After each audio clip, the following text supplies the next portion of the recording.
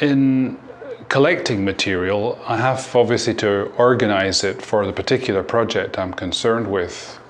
But most research links from one project to another. Rarely do you have some blue sky thinking that starts a completely new strand.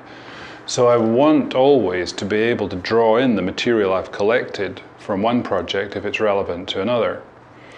The way I do this is partly through labeling the files that I keep in particular folders, giving them logical names and structures, and ensuring that they have some architecture, some overarching principles, so that if I'm working on property, for example, that it'll come within some context that's related to land or property or buildings. And if I'm working on people, then there'll be some connection through biography or through portraits or things of this kind so that I can link them.